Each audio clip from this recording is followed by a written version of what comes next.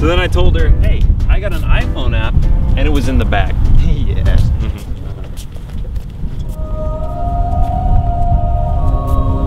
Yo, man, what was that about?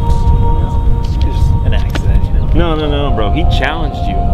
And if you don't get him right now, he's gonna get you. Yeah, yeah, I'm serious. You gotta defend your honor, bro. Come on, come on, come on, get pumped. Go get him! Yeah! Yeah! Yeah!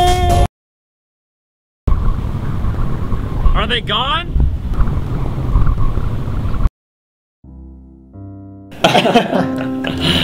Look, guys, I don't care what offer you throw at us. Here at Marc and Nathan Productions, there's something you corporate goons can't buy, and that is our integrity.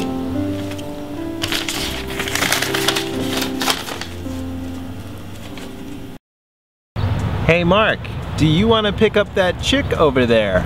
Nathan, the only thing I'd like to pick up is a piping hot cup of Folgers coffee.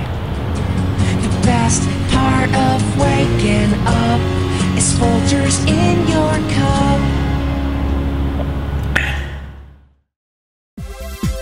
Bro, you don't even understand. I'm gonna talk to so many chicks and I'm gonna get their numbers. I'm gonna I'm gonna ask them to come over and drink some tea.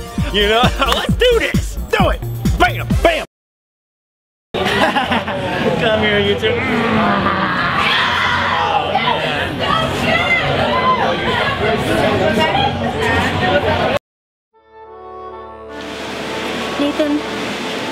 To date you, but I'm Jewish and I can only date a Jew.